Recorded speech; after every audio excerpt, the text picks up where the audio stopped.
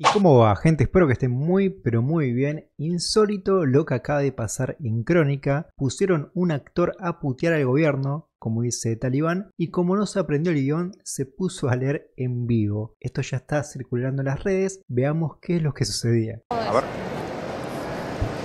Caballero, buen día, disculpe la molestia. Buenas tardes, ¿cómo anda? ¿Todo bien? Rodolfo Morel de Crónica. Estamos preguntando a la gente si me bajó el consumo de carne. ¿Me está comprando menos carne? ¿Me está haciendo el asadito los domingos? ¿O ya lo ve como algo lejano? En este momento lo estoy, estoy viendo algo muy lejano porque ya no se puede comprar carne con esta situación que estamos viviendo en el país. Una vergüenza que los jubilados están cobrando menos de 300 mil pesos al mes, que un jubilado tiene que cobrar mínimamente 1.200.000 pesos. Eh, una vergüenza, no alcanza para los remedios. Eh, hoy está, ¿cómo te puedo decir? El- ya no es el país de antes como vivíamos. Lo puede contar mi abuelo, ¿no? Sí, gracias. ¿Tenés trabajo actualmente?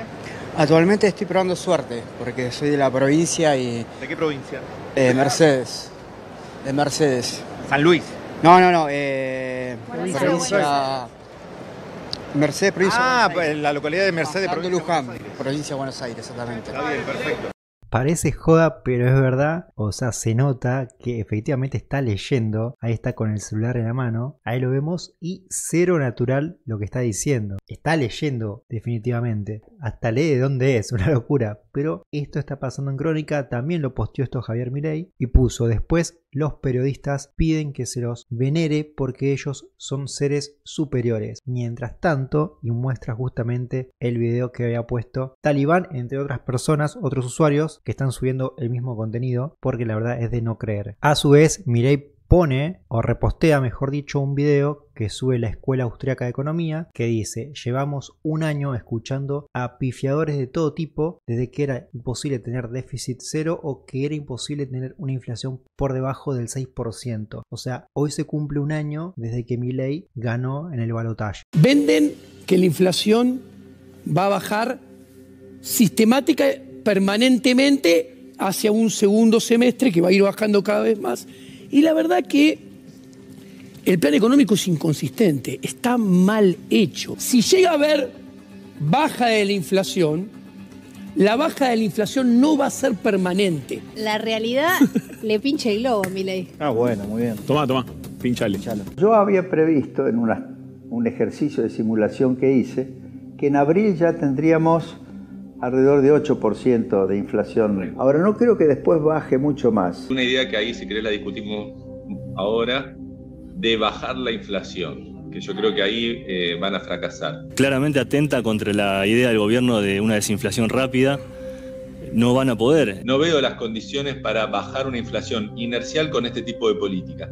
Y eso le va a socavar todo el programa. La inflación ya se sabe que sube el mes que viene y se va a mantener entre 5 y 7, no va a seguir bajando. Los costos en términos monetarios de dólar e inflación iban a ir en aumento, no en descenso. Yo le daría el premio Nobel ¿De qué? a eh, el destructor de una economía en el más corto lapso de tiempo. Están todos como en silencio con el tema de la inflación, porque lo que demuestra que no baje de este 4 es que hay una inconsistencia del plan. Bueno, el índice general está estancado en 4%. Es la inflación de la época de Martín Guzmán. Todo está organizado para que baje la inflación. Hay una recesión brutal, toda hecha para que baje la inflación. Y la inflación no está perforando ese piso. 2.7% la inflación de octubre arranca con 2, es el número más bajo de la era Milei. Es importante, ¿por qué? Porque perfora también el, el valor del 3. Acordate que perforó el valor del 4, ahora perfora el valor del 3. Erraron las proyecciones, sí, todas, prácticamente Todo, todas. sí. Desde los analistas políticos y encuestadores hasta los economistas. En lugar de reconocer que se equivocaron los econochantas mandriles, empezaron con que eh, no tiene mucho de licuadora y tijerita y todas esas cositas.